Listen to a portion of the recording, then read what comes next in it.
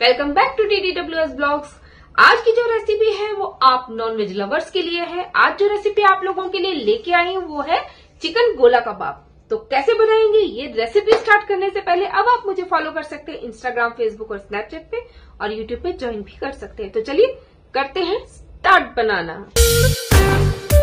Chicken गोला कबाब बनाने के लिए हमें चाहिए चिकन मैंने बोनलेस चिकन लिया है। कीमा हम घर में ही बनाएँगे। ये है धनिया, ये है ब्राउन अनियन लहसन, अदरक, हरी मिर्च, अंडा, ये काली मिर्च पाउडर है और ये है चिली फ्लेक्स और साथ ही साथ लगेंगे हमारे बेसिक मसाले। तो मिक्सी के जार में हम चिकन के ये छोटे छोटे पीस करके हम बारीक बना लेंगे इसको मतलब कीमा बना लेंगे इसका। तो ये कीमा हमारा देखिए बहुत बढ़िया से तैयार हो गया है, पिस करके अच्छे से, हमारा अच्छे से पिसा है ये। बहुत अच्छा हमारा कीमा तैयार हो चुका है। अब हमें क्या करना है? ये जो हमने ये ड्राई इंग्रेडिएंट लिए हुए थे, ये सब हम चॉपर में चॉप करेंगे और इसके अंदर मिक्स करेंगे।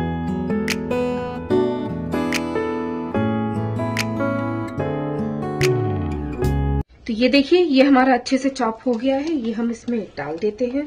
डालेंगे इसके अंदर हम chilli flakes black pepper powder red chilli powder डालेंगे नमक, स्वाद से थोड़ा सा कम। डालेंगे एक अंडा हम। फोड़ करके। अब इन सबको अच्छे से हम मिक्स कर देते हैं। चलिए फिर। तो ये देखिए हमने अच्छे से सारी चीज़ों को इसमें मिक्स कर लिया है।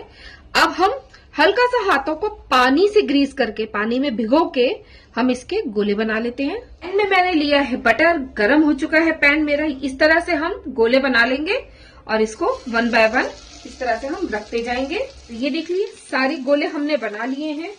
और इसका जो स्वाद आता है, वो सिर्फ़ बटर के अंदर ही आता है। तो घी में या फिर ऑयल में तो सेकने की गलती बिल्कुल मत कीजिएगा। जहाँ पे भी ज़रूरत लगे आपको, सिर्फ़ इस तरह से बटर डाल दीजिएगा और इसको धीमी आँच पे सेकेंगे और अलटते पलटते रहेंगे। तो इसको ढक देती हूँ।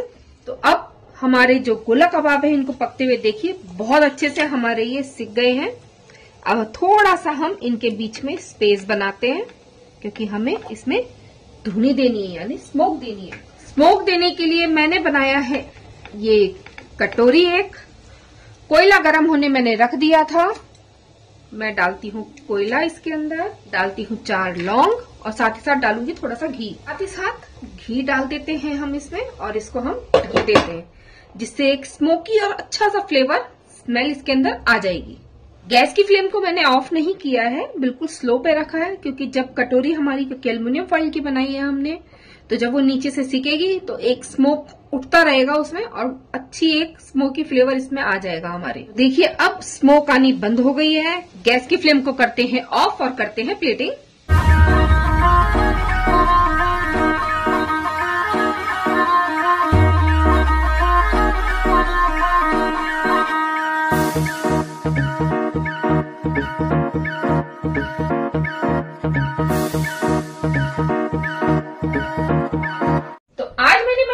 सभी के लिए चिकन गोला कबाब। तो पूरी रेसिपी तो आप लोगों ने देख ही ली है तो फिर बनाइए, खाइए एंजॉय कीजिए और मुझे ज़रूर बता दीजिएगा स्वाद आपको कैसा लग रहा है।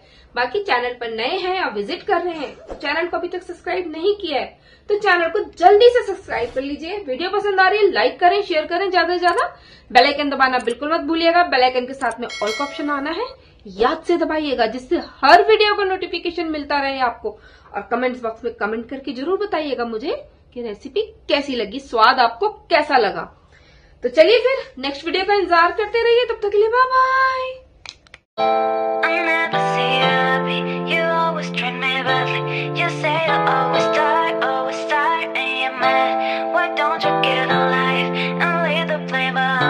and